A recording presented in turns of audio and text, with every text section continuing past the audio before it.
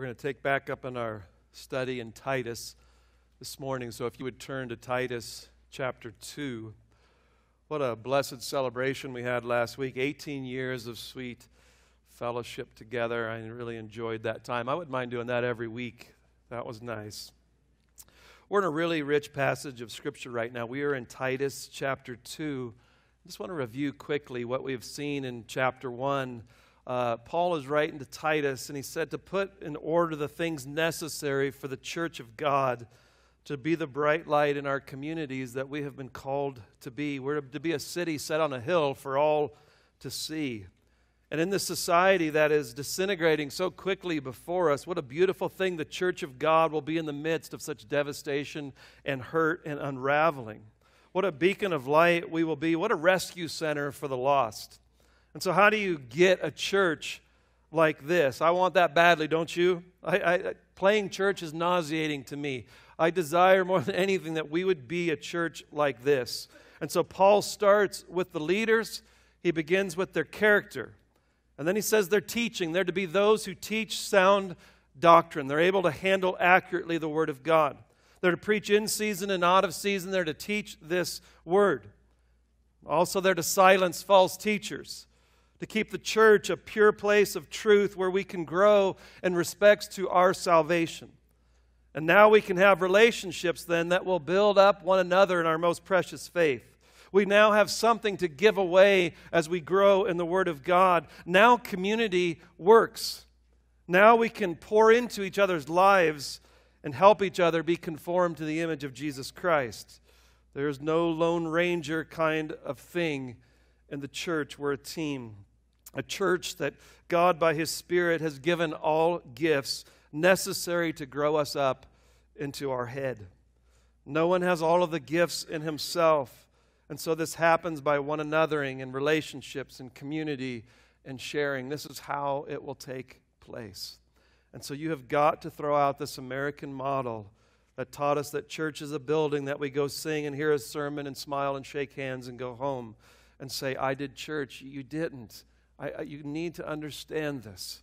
This is church, it's a, a living, vital organism growing each other up into the head, of the Lord Jesus Christ, with lives being spent intertwined and together, stirring each other up unto love and good deeds.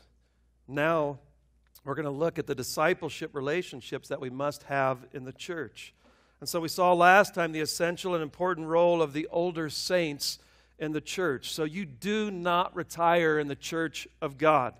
When the world is telling you that you have nothing more to offer it, the church is saying you're in your glory years. These are your glory years. Pass down what God has taught you in this amazing journey of grace. This is your glory years right now, older saints. Teach us. Don't you want to learn? I'm tired of learning from my own mistakes. I want to learn from yours for a while. And so we looked then at what God calls the older saints to be. If you'll look in Titus 2, verse 2, older men are to be temperate and dignified, sensible, sound in faith, in love, and in perseverance. Older women likewise are to be reverent in their behavior, not malicious gossips, nor enslaved to much wine and teaching. That was where we left off last week. Older women then are to be teaching what is good. So here is your call now, older women. The word for good, it means intrinsically good, that which is intrinsically good and attractive. The Greek word is kalo didaskalos. Kalo didaskalos. And so the elders in Titus were called to be didaskos. They were called to do this authoritative teaching. Teach sound doctrine, elders and men. Women are called then now you have a calling to be kalo didaskalos, teachers of what is good to the younger women. This is where you are to labor. And so, this word in the context really carries the idea of life on life.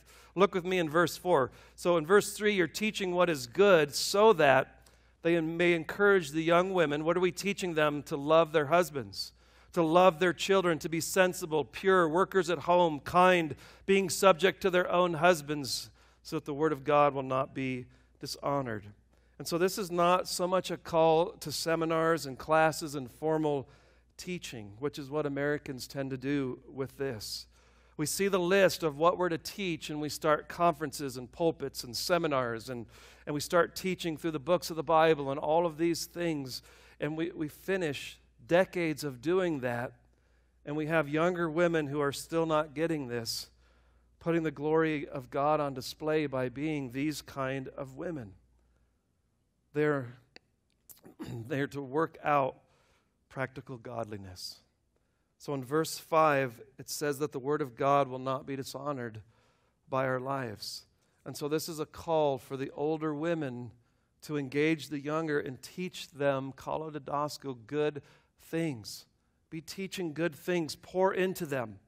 Teach them how to be these kind of women. My wife, I've told you before, she was blessed at seminary. Uh, it changed her life to be discipled and mentored uh, by this older godly woman. And what she learned from her is she has made our home a refuge. It, it's my favorite place to be is home. Have you ever had those long days and you're just driving home, men, and it's like, oh, I love to be home. It's a refuge. She has learned these characteristics from an older woman, and it's beautiful in our house. What this would do to the church of God in the midst of a crooked and perverse generation the beauty of lives and homes ordered under the lordship of Jesus Christ. I cannot use hyperbole in regards to the importance of this purpose in the church. This is so important to our life and our existence. So fight the world and the church in many places that are preaching this today. We've got women who are being didaskos, and they're, they're, they're taking on the role of pastors and they can never replace God's design for the church. You get into each other's lives, is what this is telling us here, ladies. And you teach each other how to live out the gospel of Jesus Christ day to day. In this, the word of God will not be dishonored. Let's pray for Southside. My heart, just asking God this week, is that the older ladies would, would take the mantle and you would see this morning what God's calling you to be, and that the younger ladies would embrace this and receive it and come to the older ladies and be learning, and that what would happen is that life on life and pouring wisdom of what you've learned into each other will grow you up, and the Word of God won't be dishonored. It'll be glorified by these gorgeous homes and lives that will show what happens when Christ is the center of your life. So let's pray and ask God to do that in our midst. Father, we come before you and I thank you for this section on discipleship. Lord, we're learning how the church works and functions by your design. And God, this is your design that the older ones, the ones who have walked and learned and grown and uh, have learned wisdom, as we saw in Sunday school this morning, Father, they're wise and they know how to walk with you. And they've learned through many pitfalls and things they've avoided and things they've fallen into. And God, I pray that they would just not seek retirement God, that they would seek more than ever to engage in the body of Christ. God, that they would be honored at this church and that we would love their wisdom and who they are and what they represent. And I pray this morning for the young ladies. God, we love them and we want to see them conform to the image of Christ. We live in a culture that is fighting them so hard from being what you've designed them to be. And so I pray by your word this morning that you would reorient them God, that you would open their eyes to see the need of the older women, that they would see the need to be these kind of women that will be described in our text this morning. And so, God, I know we're fighting against a culture, and that is no problem for the Holy Spirit and the Word of God. And so we ask that you would do mighty work in our midst here this morning. I pray this in the name of Jesus. Amen.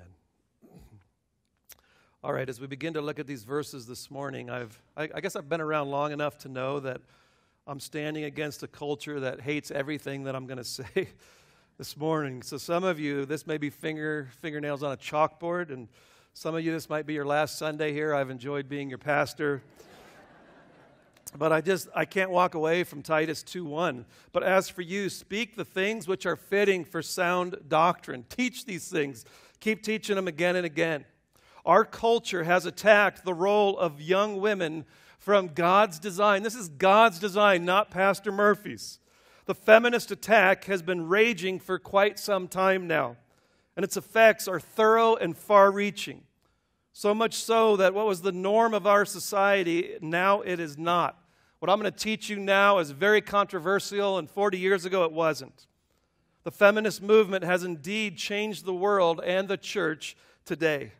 There are theologians and professors and pastors who have bought into the feminist lies, and God's being dishonored because of it. It says here, this is how God's word will not be dishonored. The family structure has been left in shambles. Untaught Christians are falling prey to this agenda. And so, young people, this morning, I want you to let the Word of God speak to you this morning. Anything that this world has taught you contrary to the Word of God, I'm asking you to let go of it. Release it if it's in the Word of God and you've been taught contrary. Let it go. We've been duped. We think that the women's rights movement is some sweet ladies who just want equal pay and equal voice and equal rights. That is not even close to what this is all about. The real feminist agenda and all of its origins and goals is satanic. Gloria Steinem, one of the leaders of it, she said, We want to raise our children to believe in human potential and not God.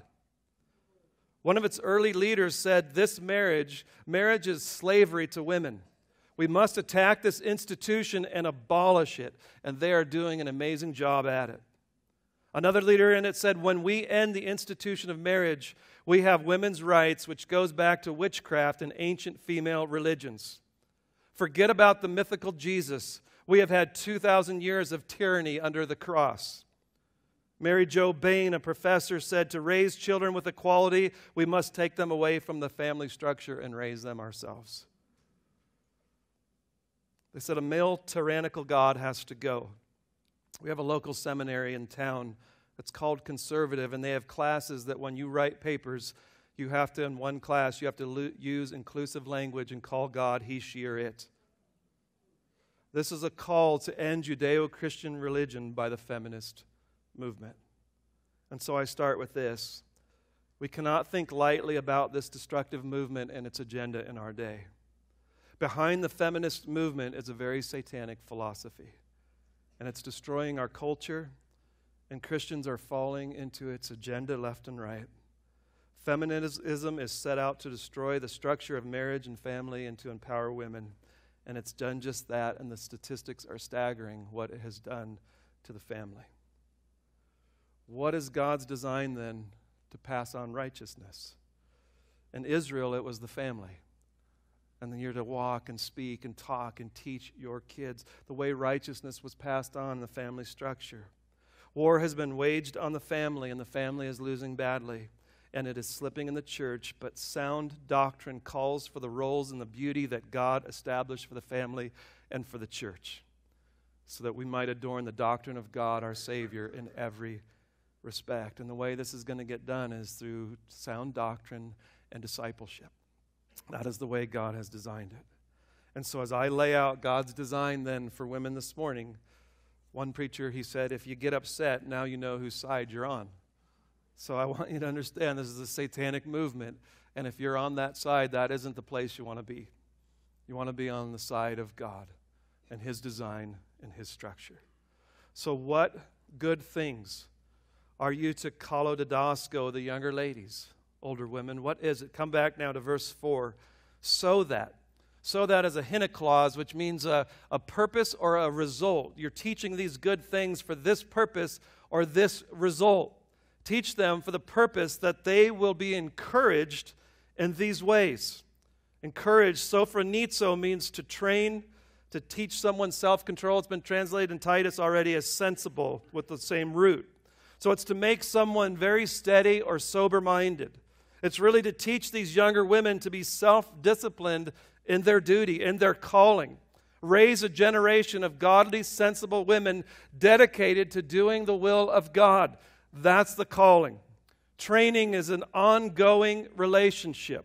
It's confrontation and it's affirmation, it's modeling, it's bringing the Word of God to bear, it's discipleship. Remember, a disciple is a follower of Jesus. It is teaching younger women how to follow Jesus Christ as women.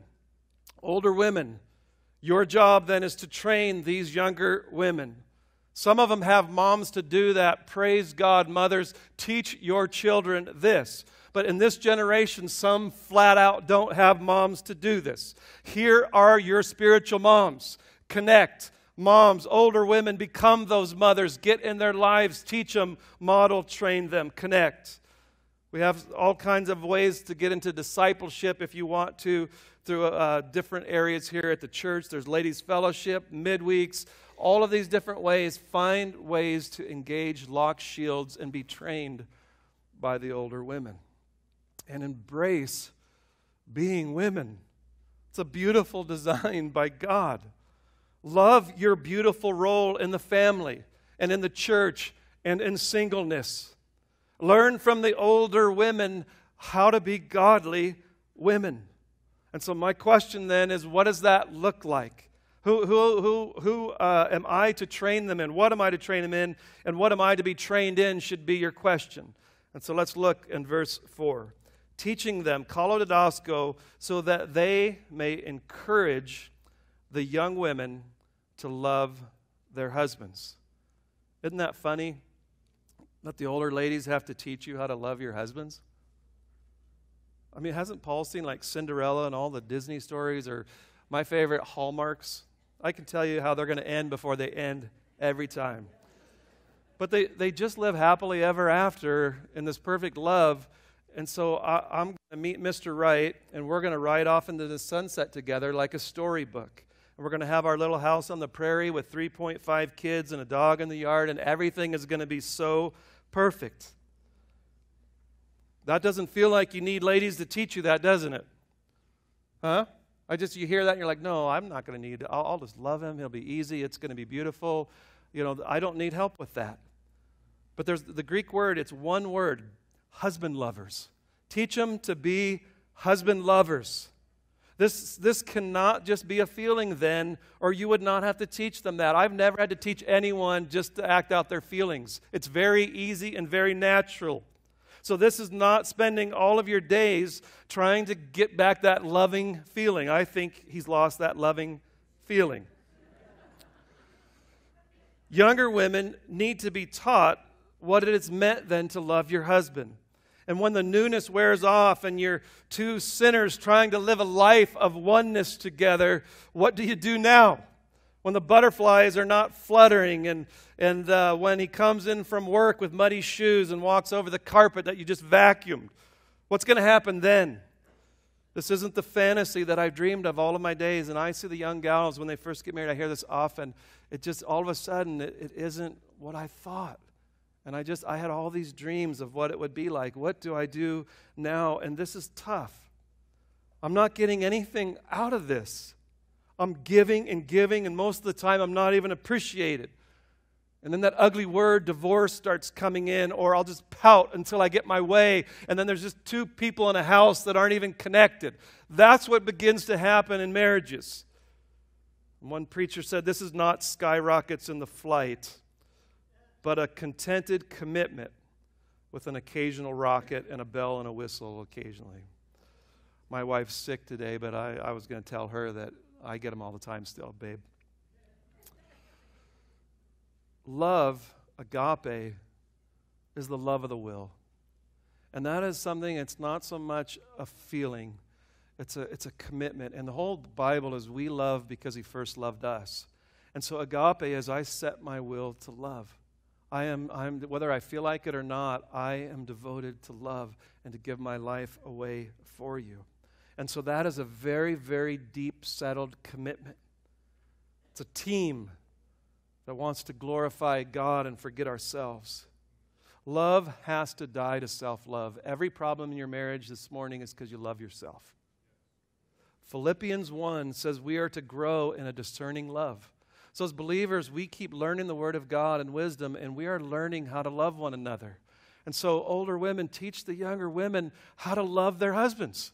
Get in and start teaching them this wisdom. How does it work? How does it function when he does this? How do I respond then? We are to, older women, teach them how to love their husbands. This is your calling.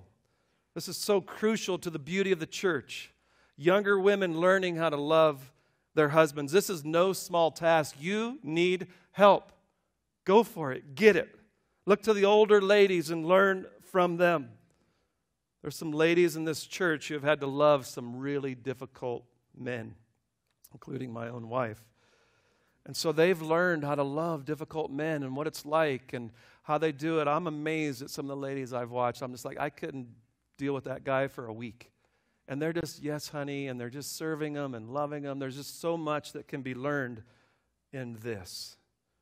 Look to the older ladies. They have, they've had to learn for decades raising kids together and all that goes with it in a marriage, and they have learned how to love their husbands. So, older women teach the younger women how to love their husbands. Secondly, in verse 4, teach them how to love their children. Again, it's one word in the Greek, just children lovers. Teach them to be children lovers. And this is the one thing that women do not need, right? I mean, have you ever met a woman that needs help how to love their child? When, when that little guy or girl is born and it's placed in your arms, what happens? Is it just instantly a mama is bursting with love. It's unbelievable. It's amazing. I love this child. I will give my life for this child. But what else happens at that moment? Everyone should name their first child Buddha, because no matter what the birth certificate says, it's your new idol. And so it comes out, and it's like, I love this child, but suddenly, here's my new idol. I'm going to find my joy and my purpose and all of my contentment in this little child. My uh, identity will be found in this young lad. And you start to overprotect and you start to not let them grow up and you control them instead of releasing them. And your joy is bound to their joy and your sorrow is bound to their sorrow. So, why would Paul instruct older women to teach the younger women how to love their children? It just seems like moms don't have any problem with that. They need help for how to love them rightly. You need help to love them rightly. How do I love this little child to Jesus Christ? That's the passion of every believing husband and, and wife when you have that. I just want to know Jesus Christ. How do I do that rightly? Paul said to Timothy, From childhood you have known the sacred writings, which are able to give you the wisdom that leads to salvation through faith which is in Jesus Christ. Paul, you've been taught since you were a child by your mother and your grandmother, and, and all you were taught was the Old Testament scriptures. And as you were taught those Old Testament scriptures, they gave you the wisdom that leads to salvation through faith, which is in Jesus Christ. They saw Christ as the fulfillment of the Old Testament. They preached Jesus Christ from the Old Testament. So you need to be theologians, moms. You need to learn and understand the whole flow of the Bible and how the Old Testament is a portrait of Jesus and how it pictures and points and leads. So, how do I, as a parent, train and teach my children the gospel? How do I discipline them in a culture that says that's child abuse? How do I train them and nurture them in godliness? How do I not tie my joy to theirs? How do I not live through their accomplishments? How do I, how do I live a godly life? Young moms, you need the older ladies to teach you. And so don't be arrogant. You get one chance at this. Get help. Go ask them. Get them over. Let them be around your family and ask them. Be humbled Share with me what are you seeing in my parenting? What do you see with my kids? me. Teach me good things and how to love my child. The world tells you you need to, to break out of this role of a mother and go get a career to have true satisfaction. Moms are fleeing the place that God has designed for them and for the beauty of the kingdom of God. This is God's design of how He passes the torch. Love your children. Lay down your lives for them. Teach them of Jesus by word and by deed, and pray for them, and correct them, and train them, and fight the lie that your life has no meaning or purpose. I want you to hear that, Mom, right now. You have the greatest purpose in pointing these little ones again and again to Jesus Christ. And it gets hard and it gets wearisome, and I just don't lose heart in doing good. And you need the older women to come alongside and teach you and encourage and pray and help. If single or barren, don't ever miss your high calling and beautiful place in serving and advancing the kingdom of God. As in this day and age, majority they had to be married or they couldn't even function in that society. And so Paul's addressing a lot of that, but in our day and age, there's a lot more of singleness. And so the church needs all of this. One of our single ladies, that's a friend of mine, has done more in discipling the next generation of girls than anyone in this church. And so I pray that you guys will, will learn this well. Verse 4. Thirdly, then, teach them to be sensible, common sense things of life. This word means self controlled. Teach them how to have self control. I'm sure it has something to do with shopping. Uh, teach them uh, cleanliness and orderliness of life, the things that they read, the things that they watch, romance novels that will destroy every marriage. John MacArthur said something interesting. He said he and his wife, Patricia, have never been to a marriage seminar or child rearing seminar their whole lives. They said they both were blessed to be raised in families where it was modeled and they were sensible. They, they learned by just modeling and watching and being in godly homes how to raise godly children. And so here's how it's passed down teach them how to be self controlled in their eating, in their emotions, In training my kids. Just don't, don't let your girls cry over everything. You know, teach them how to have self control in their emotions, how to have self control in your talking when your husband comes home from work, how to have self control over the television, self control over Facebook, or self control over your phone. I'm hearing more and more children say, My, my parents are always in their phone. So we, we, we say it's the teenager thing. Well, it's starting to become an adult thing. And, and so teach them how to be sensible and how to have self control and, and, and, engaging in the things we've already learned how to love their husbands and love their children. Fourthly, very important in our generation, teach them how to be pure. It means chaste, sexually faithful, devoted to one man, morally pure. Teach them how to be pure in a society that is so impure. Teach them on the inside, as Peter said. Don't let it just be the external braiding of hair be your beauty. Let it be the inner quality of the heart. Teach them how to guard their minds and their hearts in purity. Teach them modesty. Teach them not wanting the attention of men, but just one, the, the Lord Jesus Christ. And so teach your children, teach these younger women how to be pure in an impure world. I'm shocked at the statistics of how many women are starting to look at pornography now in our day and age. It's no longer a male sin anymore. Teach these younger women how to be pure. Older women, get in their lives and train them. They're facing new temptations that your generation has never seen. They need the older women more than ever how to be pure, even as women. And fifthly, teach them how to be workers at home. So I might as well finish off my lynching in one sermon. I've read book after book, sermon after sermon, that tells us why this doesn't mean what it says. It doesn't really mean that. I think Paul knew exactly what he was saying. You're to teach them to be workers at home. This is your sphere and your realm, godly women. The home. The home. Make it a refuge a place from this world where they can come and there's safety and there's the Word of God consecrated. It's, it's kind, it's beautiful. Make home a refuge. Again, my wife made it the best place in the world to come to. My kids love to come home. It's safe and it's warm and it's loving. Well over 60% of mothers with kids under six now have to work. Not even have to. Some have to, some do full time. And so I do, I want you to get this. In Proverbs 31, that picture of that godly woman, she did work. She would go outside the home and do the things that she could help uh, with finances and different things in that house, but it, to help with money. There's nothing wrong with that. There can be injuries to the man of the house, unemployment, financial crisis, so you have to eat. I get all of those things. There are, I'm not here saying there aren't reasons. But I'm just telling you what God's design is. God's design is that the woman's realm, her sphere, is the home. Teach them to be workers there, laying down their lives for the home. This word carries the idea of working to the point of fatigue. Too many are at home and they're not working. Teach them how to work in the sphere of their house. Yes, it's tiring being a mom. It is hard working at home. I think it's one of the toughest jobs there is. Yet it is God's calling, it is God's realm, it is God's place to labor for the good of the kingdom of God. The home is the sphere of your life. You're always working to make this possible. Great sacrifices can be made to shoot for this.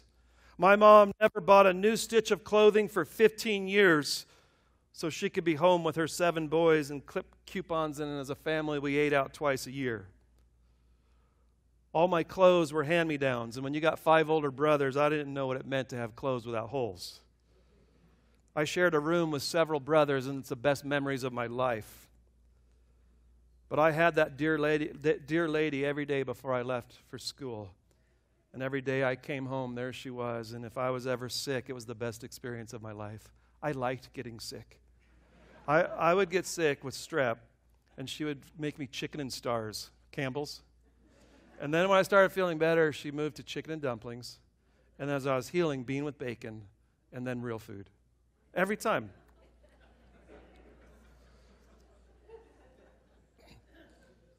I love my mom. Sacrifice as much as you can to keep moms at home if it's possible. There are times when it's not possible, I understand. But we should help each other the best we can to make it possible. I want us to be teamwork and sacrifice so our younger women can be workers at home and do everything we can as a church to help this take place. So, older women, teach them how to bust chops for the kingdom of God by their homes being a refuge and a place to be a launching, launching pad for the name and glory of Jesus Christ. Amen. Home is your main priority. Work outside to help the family, but home is where your heart is. Don't leave it and shirk it off because it's too stressful or too much. From your home, ladies, is the opportunity to have the greatest impact on the world. Right from your homes is the greatest opportunity. And the feminists call it an illegitimate profession. And God calls it his means that the Word of God would not be dishonored. If Christians abandon the home, the family will fall apart. Home is where we teach our children. Home is where they're protected and secured. Home houses strangers and washes the feet of the saints, and homes where we minister to one another whether you can go outside of it and work and not sacrifice this as between a husband and wife and we give you that freedom and beauty to work that out in every marriage. But i just want you to understand what god's word says. Older women teach these younger women to be workers at home. It means what it says. Teach them to be kind. That word, mean, that word means gentle tender-hearted and merciful you have all the pressures of home, moms. It's unbelievable. And there's still kindness. The fruit of the Spirit is I want a home that is characterized by kindness. The one place that the kids receive kindness is mom. Moms, everyone is always pulling at you. I know it's so tough. My wife, she, she could not go to the bathroom when the kids were younger. It just the whole time someone was knocking on that door. Where's this? Where's that? I need you, mom. I, all I want is five minutes. And so to stay kind is so tough because it's constant and nonstop. And so older women come teach them how to be kind, maybe even help them so that it's easier for them to be kind. This is the beauty of the church of God. I've done enough funerals to know this. You're not going to be remembered for your university degree. You're not going to be remembered for your great jobs. But what I've seen at every funeral is story after story of your kindness. It's not forgotten, it is so impactful. And those children, when they gather around, they're going to share the stories about how kind their mama was.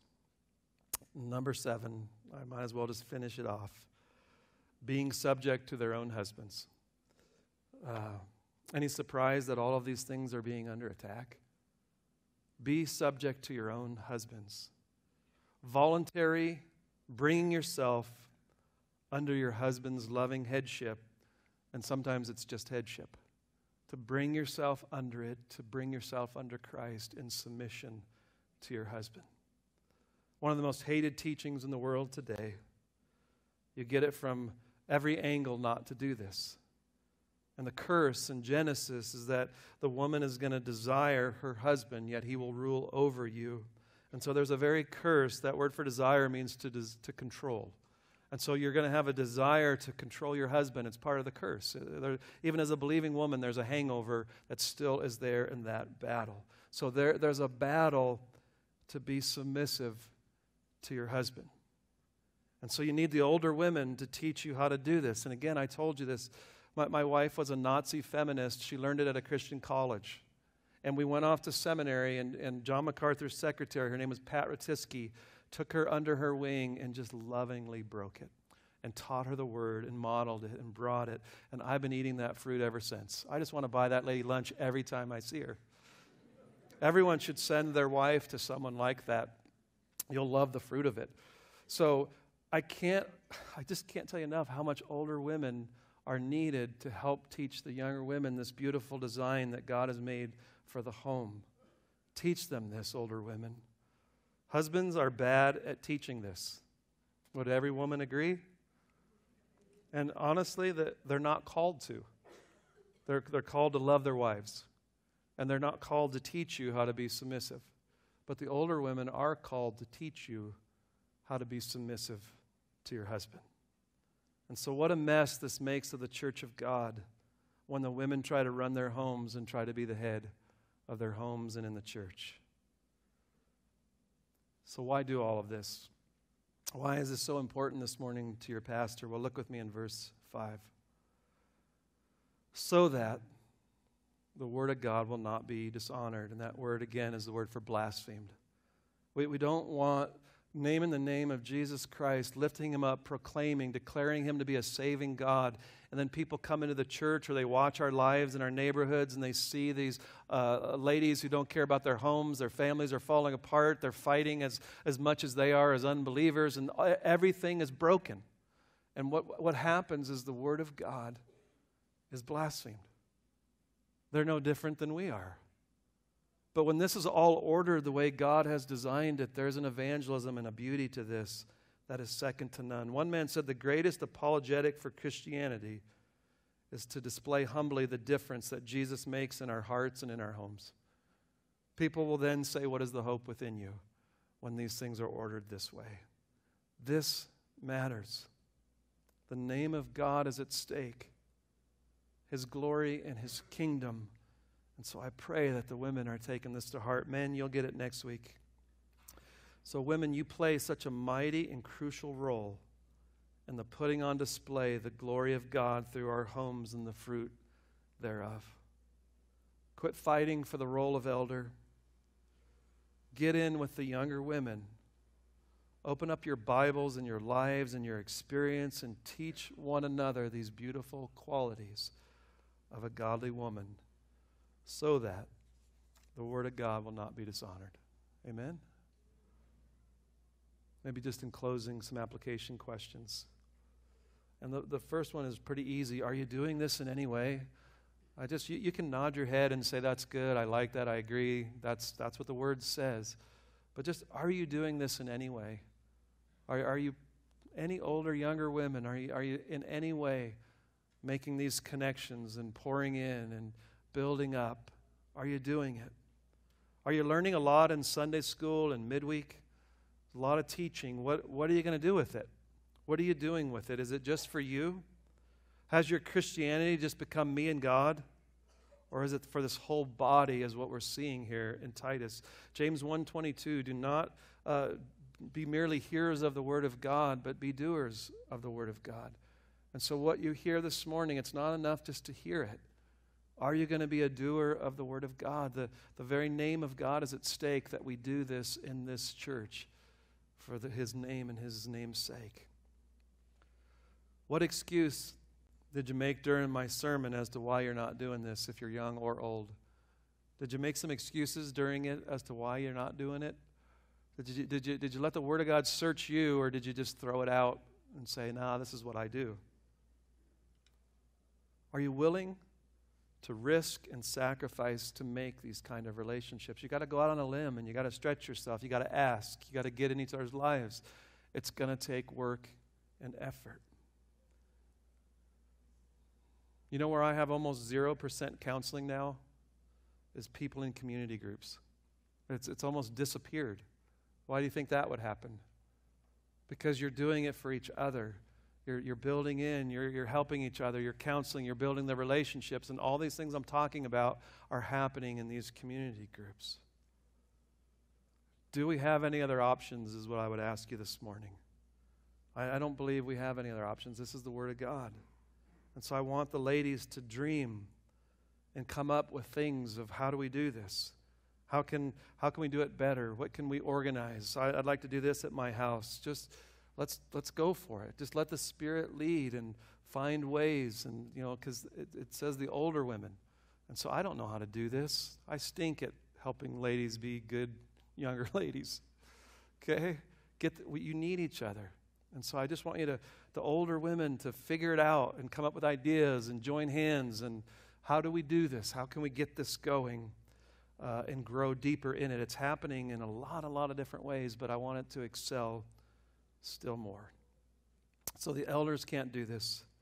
The teachers of the church cannot do this. The older women, this belongs to you alone. This is your high calling from God. Join forces and seek God and give yourselves to this task. Amen. Amen. Let's pray. Father, I thank you that you have designed the church perfect. Lord, it's no surprise to us. You have perfect wisdom. You've designed this before the foundation of the world. And I just thank you, Lord, for the women of this church. I thank you. I know many churches where they're crying out for godly older women, and we have them in abundance. And so, God, I pray that they would uh, feel their, their high calling and responsibility in the church, that they wouldn't buy the lie that they're not worth anything when they're older, for they have never been of more value than they are right now in the body of Christ. God, encourage their hearts. Let them step out in faith and not, um, not believe the lies of the world, what they're telling them. And so, Lord, I, I pray that you will raise up these older women and you'll lead them and guide them to come up with ways to, to help facilitate this. Lord, the only way it'll happen is organically by your Spirit. But we, we know there's also that we need to prepare the trellis so the vine can grow. And so give us wisdom and, and how to do that. Let the older women find that and design it. And we just look to them being led by you. And I pray for our younger women. God, they're so tired and weary and trying to run a home and love a husband who's difficult. God, I pray that you would help them. I pray that they would open up to older women and not just to women their age who are going through the same thing, but for the ones who have already navigated it and have learned wisdom. God, help them to, to, to be courageous, to go up to an older lady and just say, I just want to learn. Would you have me over for coffee? And just help both sides, like there's a Cold War, to just open up. We, we have the lies of a, a generation that are told that uh, they don't need older people. God, break that down in their minds and their hearts. Help them to see it, desire it, and want it. God, I just pray that you will do mighty things in our midst uh, in, with our women. And God, I pray next week the same for our men. We are just asking that with, with sound doctrine, that we will now engage each other's lives and help each other live godly lives that will be pleasing to you. Thank you for the structure and the way you've designed this, God. We praise you and we look to you. We can do nothing in our own strength. God, by your Spirit, do this in our midst, we pray. Amen.